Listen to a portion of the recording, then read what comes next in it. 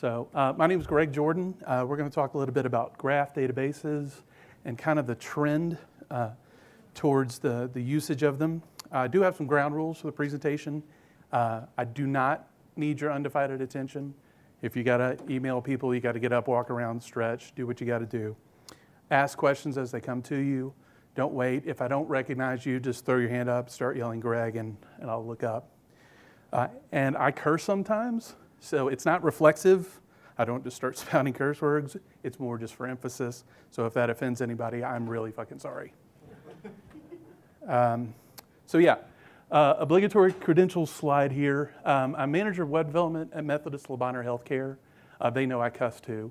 Um, I'm a PhD candidate. I'm studying qualitative usability. So, everybody familiar with qualitative versus quantitative? More observation than surveys and things like that. Um, and I have 15 years of programming experience. So, I've spent a lot of time on the front, front end working with designers, looking at usability, looking at it in terms of you know, how things work, and also a lot of time on the back end as well. Uh, but more importantly, I've been working with Neo4j, one of the uh, graph databases that's available for about two years. Um, the author of the uh, upcoming book called Practical Neo4j, uh, it's going to be with Apress, and it's probably going to be September, something like that. If you want to email me, uh, I might be able to get you an advance copy if you're interested. Uh, that address is probably for the best. If you can make out my Twitter handle on the side over there, it's GM Jordan uh, but that email address would probably be the best. Uh, here's the feedback, obligatory feedback and social handles. So getting into the meat of the presentation, uh, we'll talk a little bit about how we got here, specifically why NoSQL is such a, a good option right now. And just as a show of hands, who's using a NoSQL product of any sort? Who gets paid to use a NoSQL product? Okay, a couple of hands stayed up, good. Um, Anybody using graph database for anything? Okay. What are you guys using? Titan? Okay. Yours? Okay, good. Okay. There you go. Well, keep me honest today.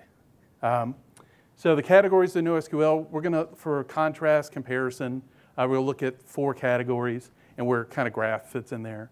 Uh, why you should care about graphs, when they make sense, when they don't. Uh, just a quick peek at implementation options, a word about security, and a few caveats and I'm going to attempt the demo guides and try to do a little bit of, uh, of their web UI. So, um, anybody seen this slide? Okay, good. There's at least one person that's seen it. So, um, and this comic strip is important for a couple of reasons. One, it kind of explores some of the FUD that's out there with NoSQL, but it's, it's still pretty relative. Um, they're asking, it's one coworker here asking, how do I query the database? says you can't, it's not a database, it's a key value store. Okay, it's not a database. How do I query it? Oh, you read a distributed map reduce function in Erlang.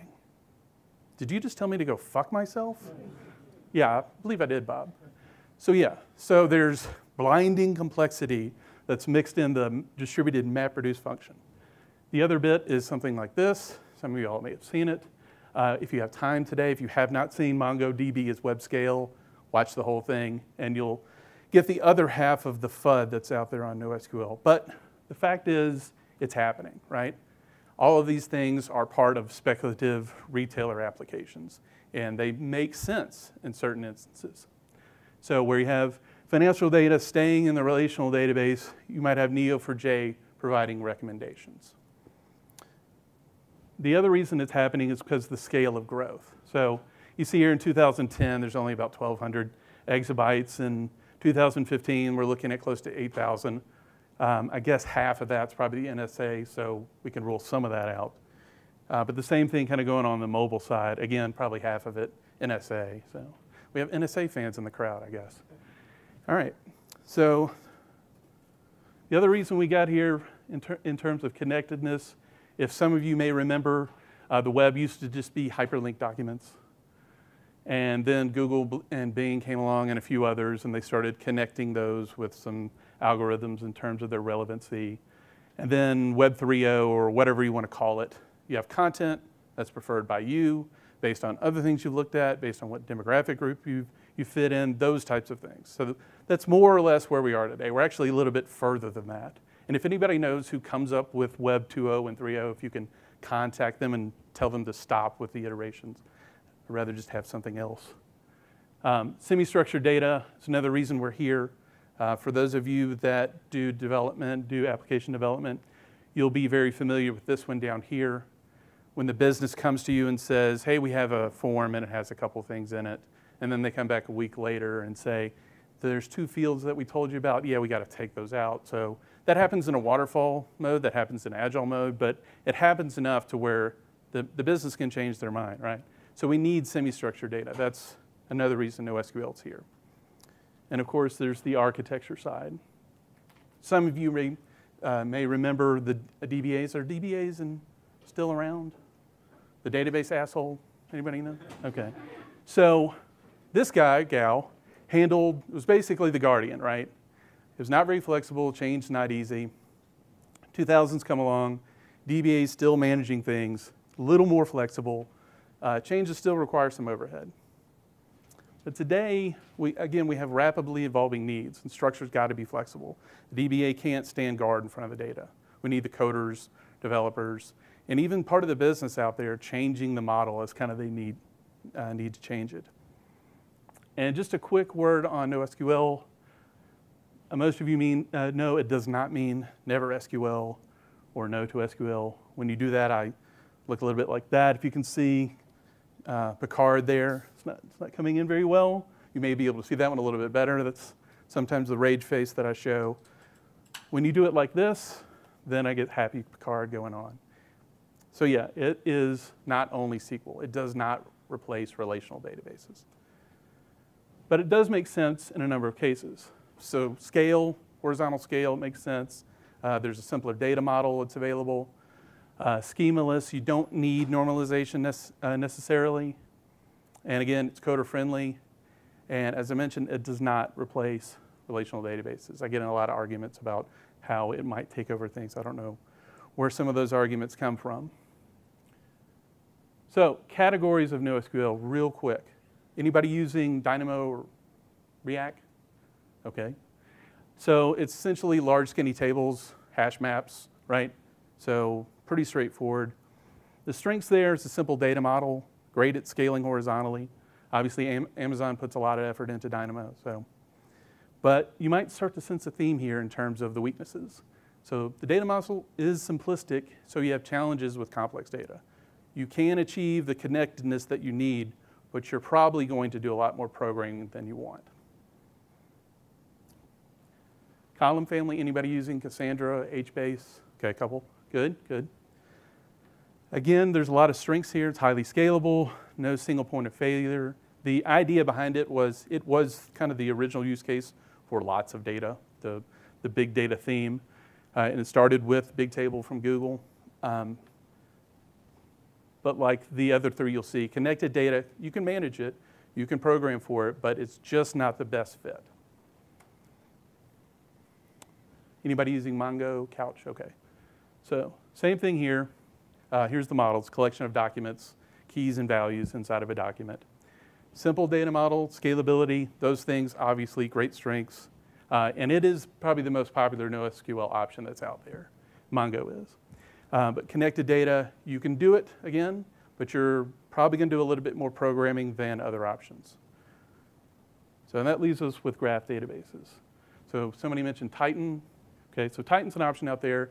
Um, it has acidity, that's one of its strengths, but you have to use the Berkeley DB as the back end, as I understand. Uh, highly connected data for all of those examples, as you'll see in a little bit, um, are its big strengths. Relationships, have first class status. It's not kind of just part of the design, it is the main thing for the design. So you have nodes with properties, so you can think of a node as an object, so a person with a first name, last name, and then there's typed relationships. That's explicit with Neo4j and not too sure about Titan. Uh, OrientDB is kind of a multi-model. It mixes graph for some things and then document stores for other things. But we're going to spend probably most of the discussion on Neo4j. So um, possibly one of the weaknesses is much different conceptually, and it really doesn't have a, at one point, I guess they did had a common, uh, common way to do querying, but that's kind of fragmenting a little bit. And Neo4j is spending a lot of time on their uh, querying language called Cypher that may make it out into the rest of the graph world, but we'll see. So when I've given this presentation before, I've been asked to do a little bit of graph theory and maybe even touch on graph algebra a little bit. So um, Leonhard Euler here, uh, the father of graph algebra. We won't do too deep of a dive. We're not going to do Algebra 101 here, but just to give you a little bit of theory. Um, does anybody know what this is? So this is, okay, thanks, Rob, thank you. This is Seven Bridges of Königsberg, and essentially this is the first, this is part of the first theorem in graph theory. And those ovals you see there are the bridges that connect the mainland and the island. And the problem here is you need to walk over each bridge, can't retrace your steps um, without going over any bridge more than once. So uh, Euler, it, you know, we had a bunch of philosophers going around, you know, trying to prove it, walk, actually walking through the bridges. And Euler took a different approach. It was more empirical, um, being a mathematician, and he essentially figured out the main uh, elements of this are the bridges and the, and the uh, masses of land. And um, coincidentally, he proved it uh, could not be proved, but uh, the um, Allied forces uh, came in in World War II and blew up two of the bridges, so now it can be proved. Uh, but you actually have to start on the mainland to do it. So uh, it only makes sense if you live there, and if you're a tourist, I guess you could do it too. So this is how he kind of boiled it down, right? The circles there uh, represent what are known as vertices, and then the lines represent the relationships, represent edges, and that's commonly known as a graph. You may have seen uh, pictures with bars and numbers above them. Those are charts. That is a graph. And this is kind of how it looked like inside of Neo4j, right? Especially in the latest version. Uh, they have a concept called labels. They didn't have this before, so this allows you to create more of a schema when you're creating objects inside of the graph. So you'd have a label called person, it would get assigned an ID and maybe have a property named Greg. Then you'd have a relationship. And this is what I was talking about with typed relationships, right? You get to define the name of the relationship. Where Greg works at a business called Graph Story. So I mentioned there's a trend. And uh, in coming up with some sort of trend and being a qualitative guy, I came up with QSADA and I thought I had made up something original and went and did a Google uh, Scholar search, and it turns out there's actually somebody else doing this. So um, not that inventive, but the quantitative guys would probably say it looks more like this, or maybe even something like this. Okay, good. There's a lot of qualitative fans in the audience. That's good. So what is the QSADA here? Well, it, in looking at kind of who's adopting what um, and, and, looking around what, what news results might bring back, I found this. So, and the most interesting thing about this, besides there's graphs involved, is that the phrase bang with friends is also in the same sentence as religion. so, but I mean, this is a startup that's used, that sees a practical application for graphs, right? And the biggest application so far is social, being able to connect, right? And obviously, Facebook is there as well. They have their own proprietary type of graph that they're dealing with. Um, it's kind of mixed into a couple different things.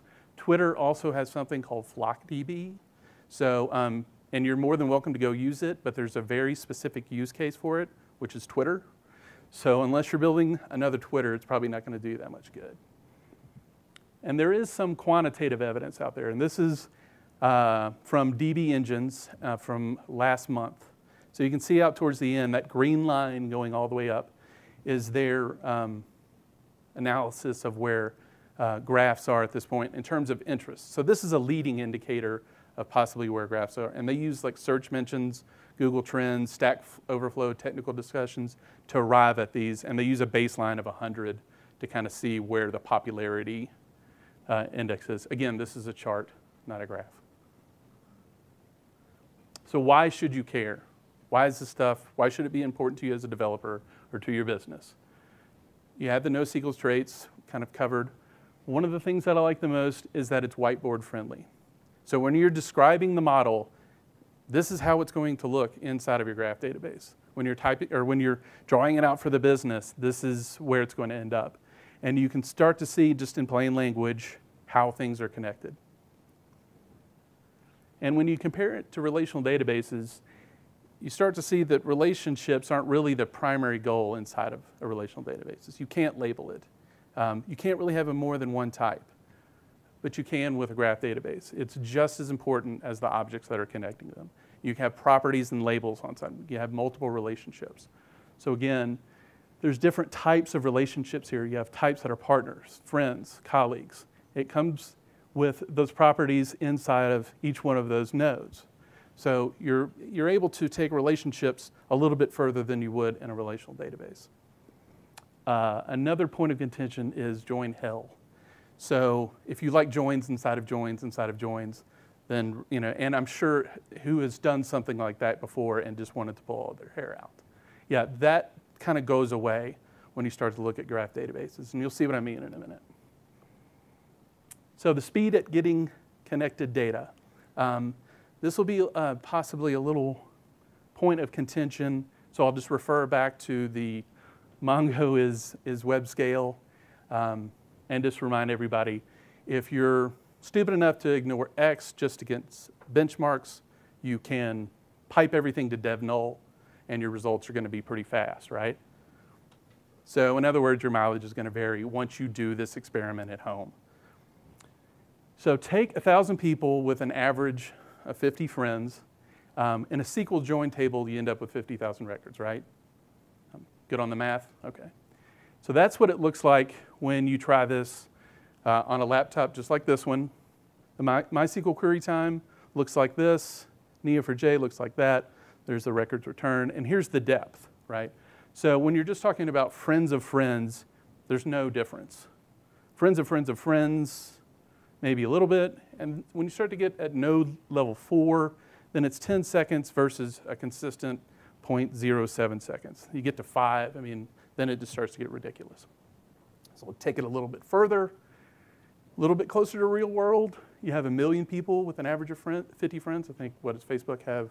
1.2 billion people on there. So a little bit lower than that, but you still get the idea, right? 50 million records in your join table now. And here are the results when we start to compare them again. At depth two, not that big a deal. Depth three, we're, we're not using MySQL at this point, right? At least based on this sort of test. You get any further than that, we stop after one hour if we get down to uh, depth of five. And we're still pretty much the same on the Neo4j side. So how does this happen? Well, that's because the queries kind of look like this in a visual representation. So um, typically when I give this talk, um, in a town where most of the people are there from it. So if you can imagine a stadium in your own hometown, and you're trying to um, get the people that are within 15 feet of you. In a relational database, you're counting everybody in the stadium to get at that number. In a graph database, you just care about the people that are within 15 feet of you, right? So that's essentially the performance. You're starting out with a node and not going any further than you have to. You can forsake all other records. So when does it not make sense? I had to do this slide. Please, I had to do it. So it depends, right? You're always going to get that answer. It depends. Do you have a good relational model? If you've got, or other NoSQL model. If that's working for you, you don't want to switch. You've already put the time and effort into it. If you have a well-defined schema, you're probably not going to want to switch over.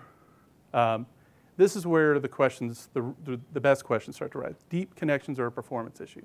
If, you're use, if it's an employee uh, database, you're probably not going to worry about that too much.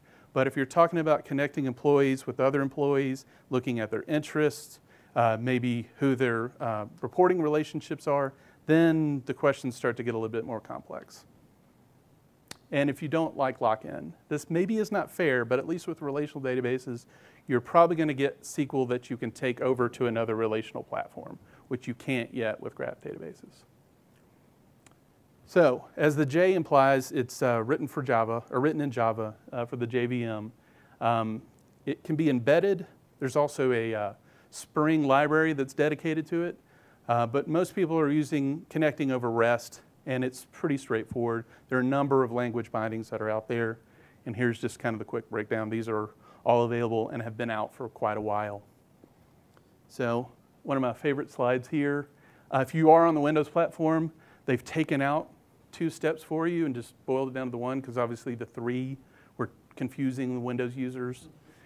Um, so you just download and run the installer, right? Click to win and just open up. By default, uh, it's on 7474 and just open up the UI. If you are using uh, C Sharp, um, that client has been developed pretty well.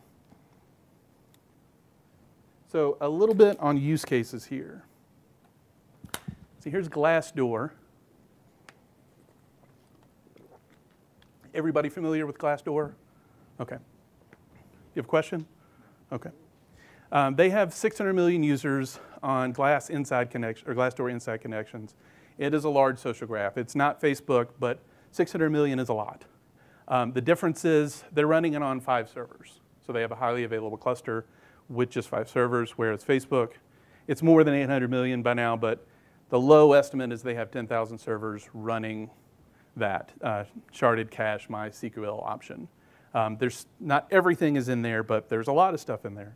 Um, that blew me away when I heard the CEO of Neo4j point that out. This is also a pretty interesting one. Uh, Adobe um, the security problems they had were not connected to this, by the way. Um, so they started with 1.4 in 2011, and they um, ran a test to see how uh, long it would take to get 250,000 records across all their regions. And by the way, they're running on uh, AWS on EC2. So when they first did it, it took about 23 hours uh, to get to all 40 nodes across all of the regions. Um, they invited Neo4j in. They fixed a lot of those problems, and now they can get 250,000 records to 40 nodes across the globe in about five seconds. So um, the evolution, and this is to point out the evolution of the development, right? It, it has grown up to the point to where it's running major organizations. And 53, does anybody use this? Okay, a bunch of developers probably wouldn't, I'm guessing. So this is more of a designer thing.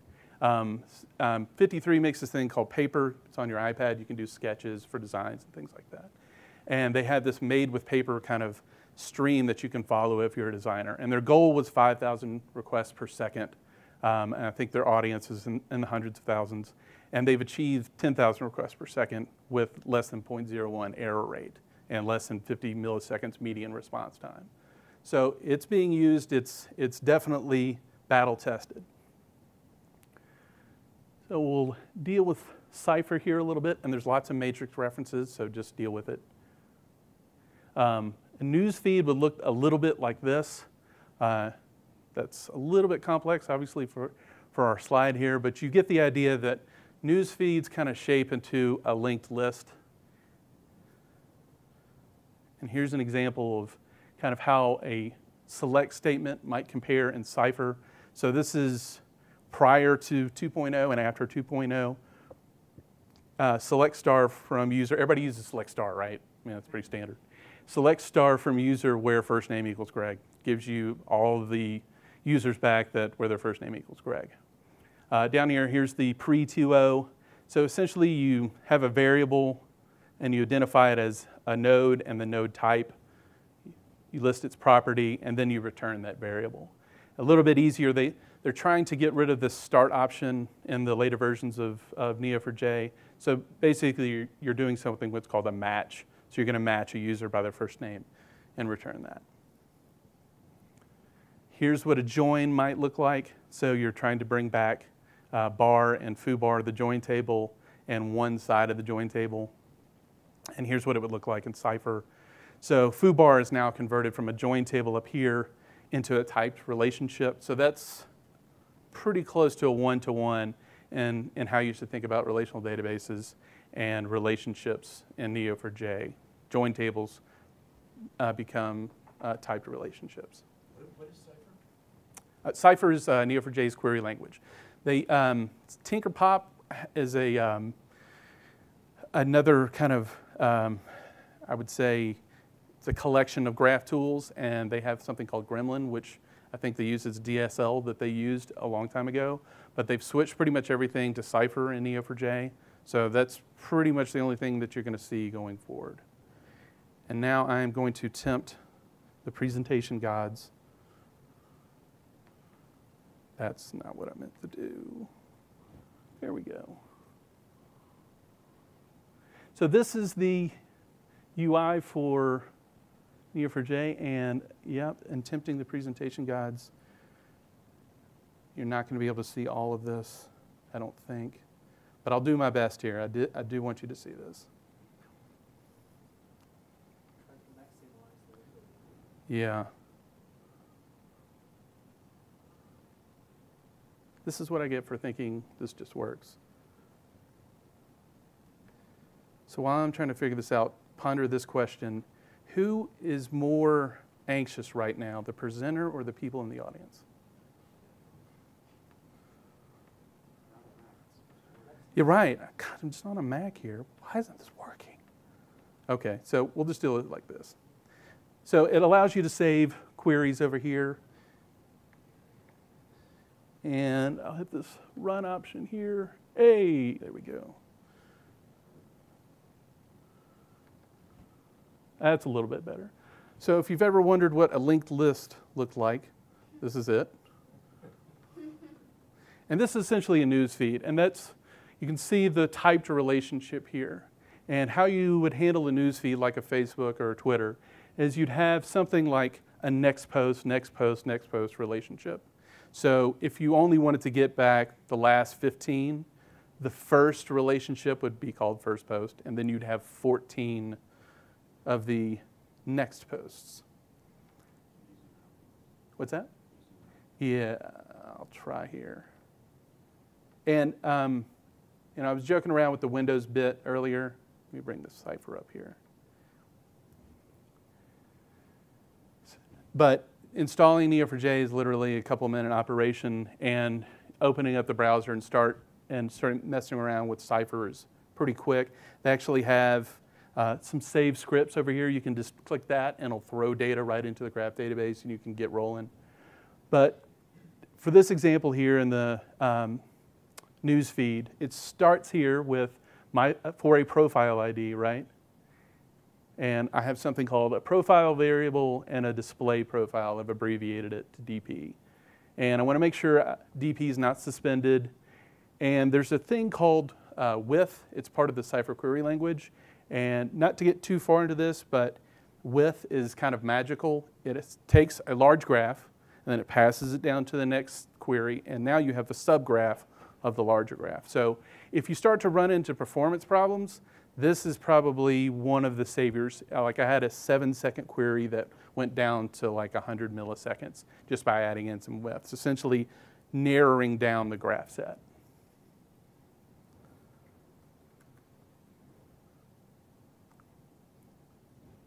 Okay. Sorry, there were more queries there, but that is a little too painful to go through. So, uh, other graph databases, uh, we mentioned Titan. Uh, it is ACID compliant, but you need to use the Berkeley DB as the back end. Uh, there's OrientDB. The mix of uh, document and graph, it promises acidity. I haven't used it on a major project yet. I have downloaded and played with it a little bit, but I haven't tested it in the field.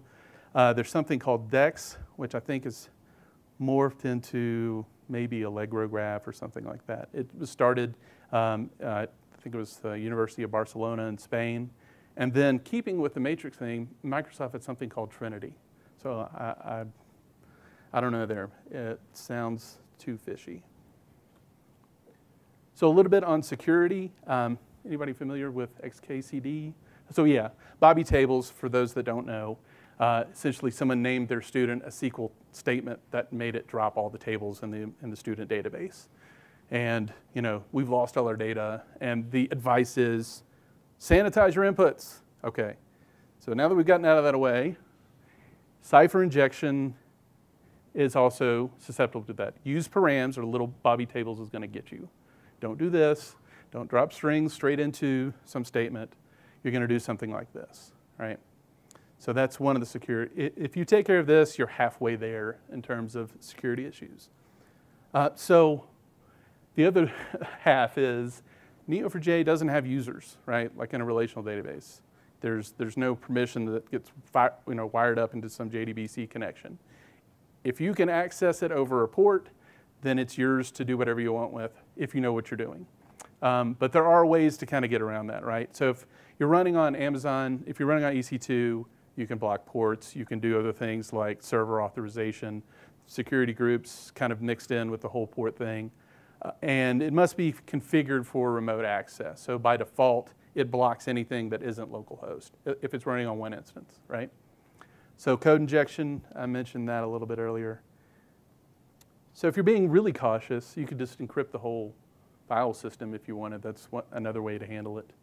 Um, but that's, that seems like a little bit of overkill for, for just you know basic kind of social applications. Uh, some of the other use cases um, that are out there besides social, there's the interest graph, so tags that may be tied back to a user. There's the intent graph, and this is where it gets kind of interesting. This is more predictive analytics. So if you spent the past couple of days looking at a group of tags that fit in a folksonomy or a taxonomy, there's a prediction that you might go for those same set of tags over the next couple of days, right? And that's useful in an application in terms of suggesting things to users. Uh, that also kind of follow along with the, follows along with the consumption graph. So kind of tying things that um, you're interested in, not just from a content perspective, but things that you've purchased, um, videos that you've watched. The list kind of can grow there. So a little bit back on uh, the caveats. IDs can be reused, so there's a default ID that gets assigned to nodes. Um, I think the upper limit is something like 64 billion, so if you run into that problem, you have a pretty good problem. Uh, and they and uh, with a there's a commercial version of it. You can contact them if that is an issue. Um, but the best way to handle that is to make a separate unique key, so some sort of combined ID. And it's only an issue if um, you're taking things out of the graph, if you're completely removing them from the graph, and you're relying for these IDs to be unique in some way. Um, that's when it becomes an issue. It's really the relationships that make the connections which you would most likely be used, used to, or um, you know, a lot of search depends on, upon the properties that are on each node. And shut down properly if you're working locally, um, you can get uh, under the covers for indexing, it uses Lucene. So as if you've worked with Lucene and all, if you don't shut down properly, you can get corrupted indexes, and that's kind of a pain to deal with. So looking a little bit at the future, um, their uh, biggest goal, I guess, for this year is improving, getting it up and running in the cloud. So EC2, Azure are kind of their big targets. Other platforms they're obviously concerned with, but those are the ones that they mentioned by name. Um, classifying, labeling of nodes, that is already out. Um, improvements to Cypher. Um, so they've removed start, which kind of helps um, take, take down some of the conceptual issues, I would say. Uh, and they have the new web UI that's, that's just come out with, uh, with 2.0. Uh, one of the other things that they're focusing on is, so sharding's not real simple, um, but they're making it easier. So if you want to split things up for high availability, that's getting easier. So one of the biggest problems is uh, if you have dense nodes. So uh, Ashton Kutcher has what eight zillion followers, right? He would have a lot of people connected to him on that single node, and that can affect performance. So one of the things they're able to do is kind of split that up, so there's not just one local access point. So that concludes uh, the presentation. Unless there's any questions, I want to thank ApacheCon and also thank these three guys. These are um, the authors of the uh, graph database book. If you go to graphdatabases.com um, or www.graphdatabases.com, there's a free download there of this O'Reilly book and gives you a little bit deeper dive into graph theory. They talk, uh, it's called graph databases, but it really should just be called Neo4j. That's where they work. Um, but I think they wanted to make it, you know, a little bit easier to access. And of course, there's this other book that's coming out I heard about, so you can check that out too. Uh, questions? You said that the underlying data For indexes, yes. Oh, for indexes. Mhm. So that's for fast, just for fast lookups. So Neo4j does require some kind of, some kind of structure to the data in order to be able to interpret it, So yeah, um, you are, yeah, you're going to want to uh, make sure, you know, there's at least, you're going to need at least, you know, one typed relationship for it really to make sense to even use it, right? Um, and see, I, I can't really think of an example where that wouldn't work. Okay. Yep. Um, do- do- Is there ways you could, um, say you've got two different nodes and you do various computations about how well connected they are, you know, how far away they are, if they won't connect with that? Right. Yeah. There's some at, um, you know out of the box queries that you can find, and their documentation is top notch. By the way, um, there's still you will need this book. I'm not going to deny that, but their documentation is still pretty good. Um, yeah. There's um, sorry. Uh, the first question you had talking about the relationships, like so you're talking about degrees of relationship. So yeah. The way that you can define that is in a Cypher query um, when you, um, if you're using a typed relationship, so let's say um, the relationship is knows, like I know you.